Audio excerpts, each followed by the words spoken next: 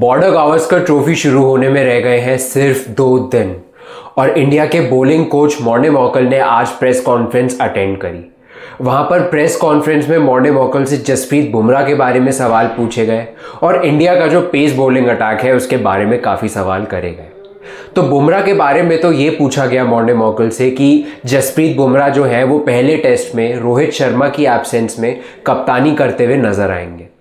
तो उसी पे मॉर्ने मॉकल के ओपिनियंस पूछे गए और ये पूछा गया कि बुमराह कितने तैयार हैं पहले टेस्ट में कप्तानी करने के लिए।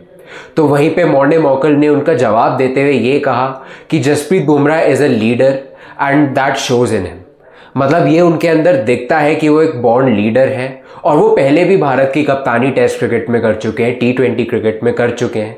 तो उनके लिए ये पहली बार तो है नहीं। तो इसीलिए उनको लगता है कि जसप्रीत बुमराह जो है, बहुत ही कॉन्फिडेंट एक लीडर है।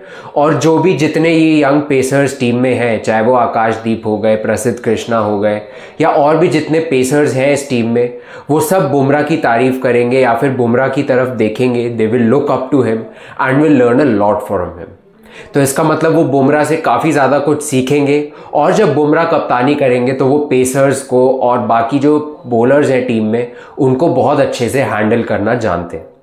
तो यही उन्होंने बुमराह की खासियत बताई, और ये बताई कि Bumrah is very much ready to lead the team and all the bowlers and all the team will look up to him as a senior